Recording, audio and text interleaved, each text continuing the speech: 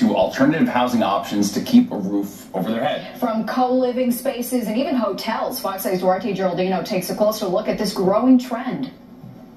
In Harlem, Krista Gidron's home with its fabulous kitchen, rooftop deck, and sweeping city views is a dream come true for a young person with so many options. So I'm a pilot for a private charter service, and we can live anywhere. It's really convenient to be on the East Coast. But this is a co-living space called Cohabs. She shares it with more than 20 people. Her only completely private space is a small bedroom on the third floor, for which she pays around $1,900 a month in a neighborhood where the average studio apartment costs more than $2,700. Was it a question of money? Because we are so expensive.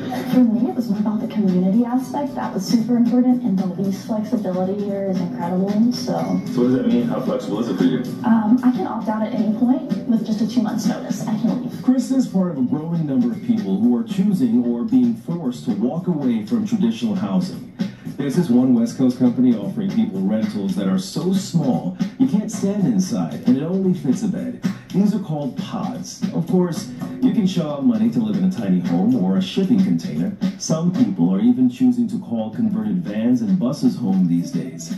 What all these types of alternative housing illustrate is a growing mass desire for homes that are not only more affordable, but also that come with more flexible contracts and community. Daniel Clark is the managing director of U.S. Cohabs. His company is investing tens of millions of dollars in the U.S. housing market, betting people will embrace alternative housing in general and co-living in particular. There's opportunities uh, with seniors to do this. I think there's like more unique um, components of student housing that we can crack into. So I really, I think this guy's the limit. For Susan Hayes, alternative Prediction Ascension, love me or hate me, there's no in between. So they got it, bro.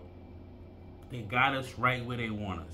The elites, the globalists, the fucking DNC, the Bilderbergs, BlackRock, everybody. They got us right where they want us.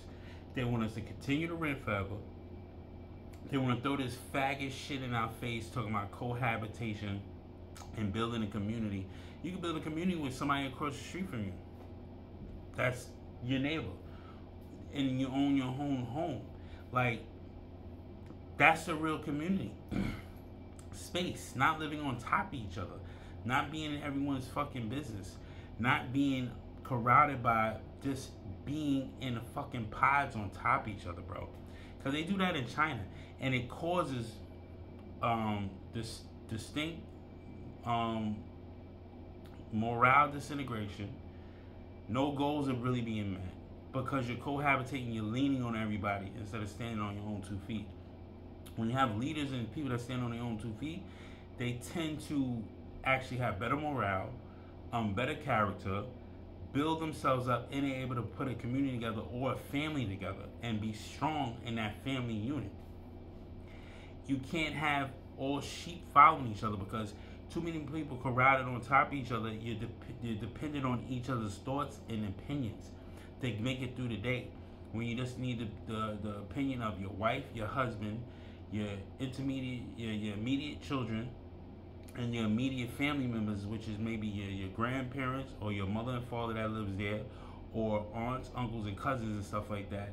Then you might get some outside help from other people. But when you have to rent and continue to be up under people that you really don't know, you have to adapt real fast.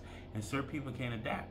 That's why it will always breed jealousy and envy and stuff like that, or people asking questions on how much you're paying, or where you're going, what you're doing this, how you're doing that. It, you, you'll never be able to function and stuff like that because it's always what people think, especially if you're trying to create a family and stuff like that. You can't create a family there because a family needs to be privatized, private in your own setting so you can thrive together. You just can't have everyone reaping and, and, and I mean, um, bombarding you with their own opinions and thoughts and political views and all that shit. And you have to raise your child to be that village raising a child shit is dumb because everybody's being indoctrinated on these fucking social justice warriors, gays, but like woke shit is, is dumb. You want to raise your family to be Christians or Catholics or, or express Judaism, um, Muslims, Islam, whatever, and you want to have that indoctrinated to your children because you want to raise your children to be a reflection of you. You don't want everybody in your personal business or personal space. You get a personal room, for nineteen hundred a month. The rooms are nineteen hundred a month. That's ridiculous in the city, man. It's it's going to shits. You can't live like this, cause they want everybody close knit together. So when shit hits the fan, they could corral us all in one place and put us all in one cage, man. Best believe it, when shit hits the fan, it's certain people you don't want to be around because they're gonna fucking panic. They're gonna bring shit down and they're not gonna help you try to survive. They're just gonna tell you to conform because they don't feel like dealing with issues or they don't want to fight back. I'm just stating it, the facts, man. They got us right where they want us. You'll be rented forever, you won't own nothing, and you will love it. Like Klaus Schwab said from the World Economic Forum. This is what he said. This is exactly what they said. The New World Order. You'll be in these 15 minute cities. This is what we're going to be looking forward to in the future, man. Prediction Ascension, love me or hate me, there's no in between. Like, comment, share, help me out the algorithm, man. Do me the favor. Love me and hate me, man. There's no in between.